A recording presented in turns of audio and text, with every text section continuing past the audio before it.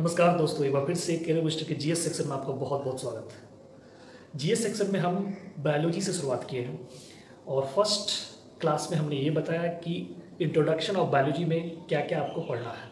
Introduction of biology में पहले father of biology biology term किसने दिया, कब दिया बायोलॉजी के branches father of botany father of zoology इन सब बातों के बारे में जानकारी दी। और आज हम आपको बताएँगे क्लासिफिकेशन ऑफ़ ऑर्गेनिज्म जीवधारियों का वर्गीकरण। Two kingdom classification, five kingdom classification, इस दोनों के बारे में आज हम डिटेल से बताएँगे। एक कॉन्सेप्ट देंगे आपको, ताकि जब हम प्रैक्टिस कराएँ, या कोई भी बुक से प्रैक्टिस करें, या ऑनलाइन टेस्ट दें तो ये उसमें काफ़ी फ़ायदेमंद होगा। क्योंकि हमने फ़र्स्ट वीडियो में ही बताया था, अगर थोड़ा थोड़ा कॉन्सेप्ट लेते जाए थोड़ा थोड़ा स्टोरी समझते जाए तो फिर क्वेश्चन जो है आपका नहीं छूटेगा। तो चलिए आज के सवाल शुरू करते हैं क्लासिफिकेशन ऑफ़ ऑर्गेनिज्म हमारा टॉपिक टॉपिक है आज क्लासिफिकेशन ऑफ़ ऑर्गेनिज्म जीवों का वर्गीकरण। सबसे पहले जॉन रे, जो इंग्लैंड के थे, उन्होंने कॉन्सेप्ट ऑफ़ स्पेसिस के बारे में बताया। लेकिन बहुत डिटेल से वर्गीकरण के बारे में वो वर्णन नहीं कर पाए। लेकिन जब भी आपसे क्वेश्चन पूछे कॉन्सेप्ट ऑफ़ स्पेसिस किसने दिया तो जॉन रे इंग्लैंड के थे। उसके बाद two kingdom classification Carolus Linnaeus लेके आए। जिसमें उन्होंने इंटायर ऑर्गेनिज्म को प्लांट किंगडम और एनिमल किंगडम में बांटा, जो हमने दिखाया भी है प्लांट किंगडम एनिमल किंगडम पूरे वर्णन करके उन्होंने अपने बुक सिस्टमा नेचुरी अपने बुक सिस्टमा नेचुरी में पूरा, पूरी तरह से वर्णन करके बताया। याद रखिएगा कैरोलेस लीनियस अपने बुक सिस्टमा नेचुरी में इंटायर ऑर्गेनिज्म को प्लांट किंगडम और एनिमल एनिमल किंगडम में बांटकर दिखाया, बताया उनके बारे में। इसीलिए इस वर्गीकरण को टू किंगडम सिस्टम कहा जाता है। टू किंगडम क्लासिफिकेशन लीनियस को इस कंट्रीब्यूशन के लिए फादर ऑफ़ टैक्सोनॉमी भी कहा जाता है। लीनियस का एक और योगदान यहाँ देखें। बायनोमियल नोमेल क्रेचर में दुई नाम पद्धति में भी इन्हीं का कंट्रीब्यूशन है। इसलिए जब आपसे पूछे बायनोमियल नोमेल किसने दिया?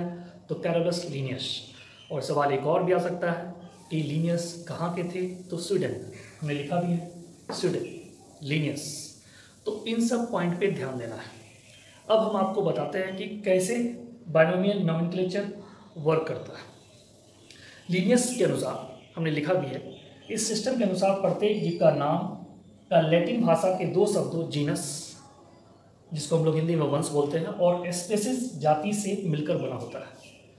इस सिस्टम के अनुसार लैटिन भाषा के दो शब्द जीनस और एक्सप्रेसिस से मिलकर बना होता है। इन्होंने बताया कि जीनस और एक्सप्रेसिस के बाद उस साइंटिस्ट का नाम होता है, जिन्होंने पहली बार इसे खोजा है। और जीनस का जो पहला लेटर होगा, वो कैपिटल होगा, और स्पेसिस के सारे लेटर्स स्मॉल होंगे। अगर हम होमो सेपियंस की बात करें तो होमो का एच जो है वो कैपिटल होगा। उसके बाद सारे जो होंगे वो स्मॉल होंगे। होमो लिखने के बाद सेपियंस का एस और बाकी जितने लेटर्स हैं, सारे स्मॉल होंगे। Homo sapiens Linn L I double L बताया कि बायनोमियल नोमिल क्रेचर में एक जीनस होता है पहला वर्ड और दूसरा स्पेसिस वंश जाति और बाद में साइंटिस्ट यहाँ पे उस साइंटिस्ट का नाम दिया जाता है, जिन्होंने इसको खोजा होता है या जिन्होंने इसका नेमिंग किया होता है। हमने ये भी बताया जीनस का जो फ़र्स्ट लेटर है, वो कैपिटल होगा, बाकी सारा लेटर स्मॉल होगा। स्पेसिस का भी सारा लेटर स्मॉल होगा। स्पेसिस का पहला लेटर भी कैपिटल नहीं होगा। सिर्फ़ जीनस का पहला लेटर कैपिटल होगा। यही लिखने का ढंग है।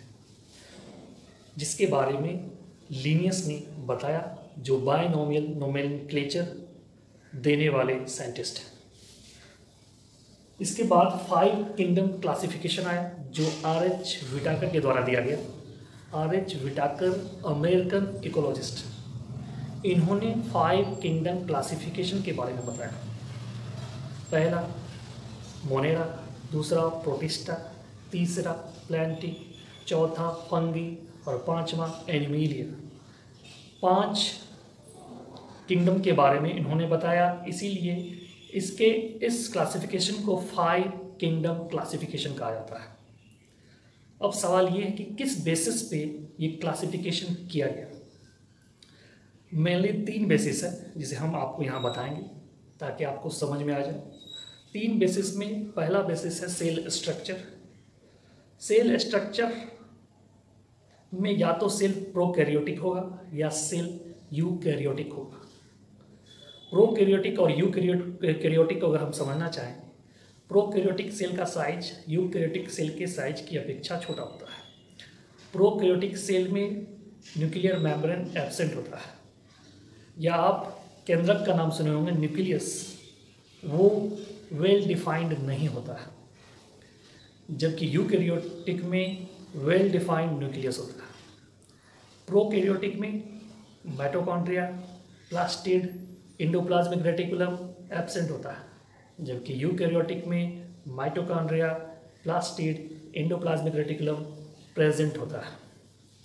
तो ये था सेल स्ट्रक्चर पहला बेसिस अगर हम दूसरा बेसिस की बात करें तो मोड्स ऑफ़ न्यूट्रिशन या तो ऑटोट्रॉफिक होगा या हेट्रोट्रॉफिक होगा। ऑटोट्रॉफिक का मतलब जो अपना भोजन स्वयं फोटोसिंथेसिस प्रोसेस के द्वारा बनाते हैं, जैसे कि प्लांट हेट्रोटॉपिक का मतलब जो अपने भोजन के लिए दूसरे पे डिपेंडेंट रहते हैं, जैसे कि एनिमल तो इस बेसिस पे दूसरा बेसिस रखा कि क्लासिफिकेशन हुआ जो फाइव किंगडम पहला सेल स्ट्रक्चर दूसरा मोड्स ऑफ़ न्यूट्रिशन तीसरा क्या था? बॉडी ऑर्गेनाइजेशन या तो यूनिसेलुलर या मल्टी सेलुलर एक सेल वाला ऑर्गेनिज्म होगा या मोर देन वन सेल वाला ऑर्गेनिज्म होगा। इस बेसिस पे फाइव किंगडम क्लासिफिकेशन हुआ।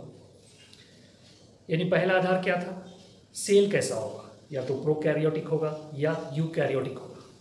दूसरा था न्यूट्रिशन का मोड क्या है? वो ऑटोट्रॉफिक है या हेट्रोट्रॉफिक तीसरा, वो यूनिसेलुलर है या मल्टी सेलुलर इस तीनों बेसिस पर आर एच विटाकर जो अमेरिकन इकोलॉजिस्ट हैं, उन्होंने फाइव किंगडम क्लासिफिकेशन दिया। इस पूरे फाइव किंगडम क्लासिफिकेशन को अब हम एक टेबल के द्वारा टेबल के द्वारा आपको समझाते हैं, ताकि मोनेरा, प्रोटिस्टा, प्लांटी, फंगी और एनिमेलिया को, के फीचर्स को आप आसानी से समझ सकें। और जब इसके बाद क्वेश्चन पे आएँगे तो क्वेश्चन बनाने में मज़ा भी आएगा और आपका स्कोर भी बढ़ेगा। तो चलिए देखते हैं टेबल क्या है।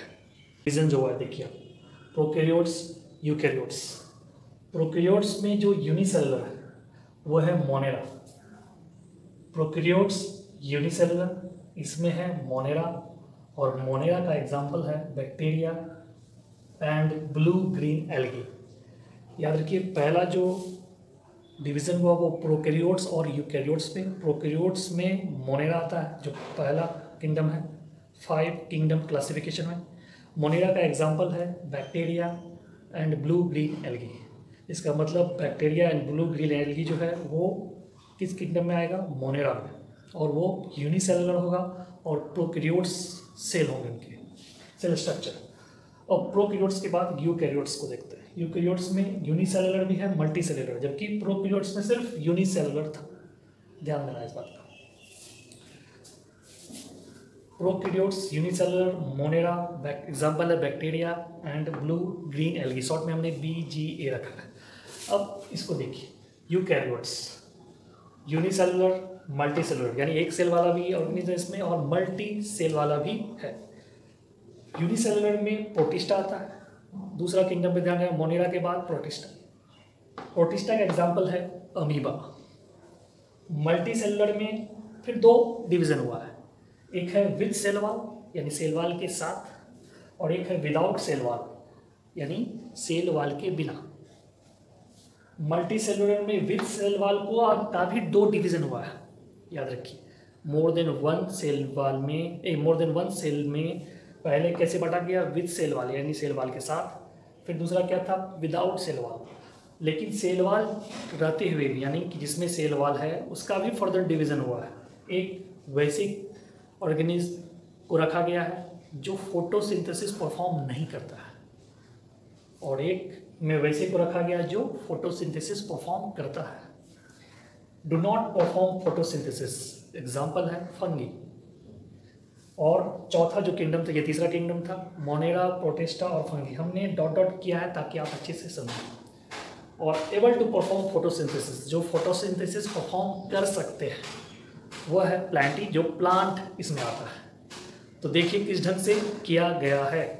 और लास्ट में है विदाउट सेल वाल ये था with cell wall without cell wall में एनिमेलिया ग्रुप आता है, जो फोटोसिंथेसिस नहीं करता है और ना ही इसमें सेल वाल होता है. यहाँ पे सेल वाल था और फर्दर डिवीज़न किया गया फोटोसिंथेसिस के बेसिस पे. और यहाँ सेल वाल तो है ही नहीं.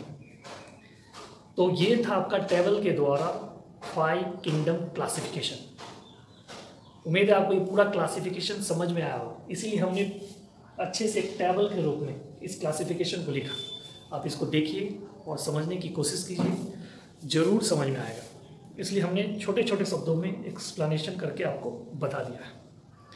तो नेक्स्ट टॉपिक के साथ बायोलॉजी में हम नेक्स्ट वीडियो में आएँगे। Till then bye take care